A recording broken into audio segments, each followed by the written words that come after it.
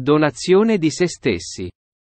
Figlia mia, eccomi per istruirti. Ti accompagno dovunque vai, ti sono vicino con la premura del migliore dei padri e con l'affetto di una madre veglio su di te. Se ti abbandoni completamente a me, io agisco, penso, parlo in te. Allora tutto assume un valore divino e una perfezione altissima. Ecco perché ti invito a rinnovare spesso la tua donazione completa a me e a invitarmi a sostituirti.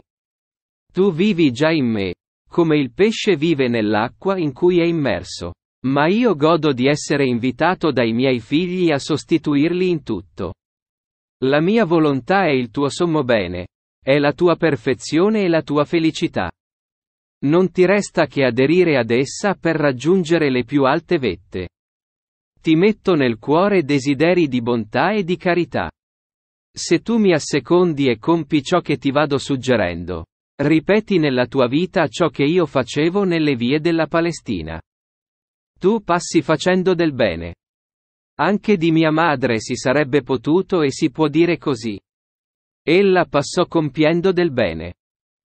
Non operò miracoli clamorosi ma miracoli di bontà e d'amore. Dovunque c'era una lacrima da asciugare, un conforto da dare, un aiuto da prestare, Ella era là e seminava pace e gioia. Molte volte mi parlava dei suoi amici, i sofferenti, e me li presentava appena ne aveva l'occasione, perché io operassi per loro miracolo.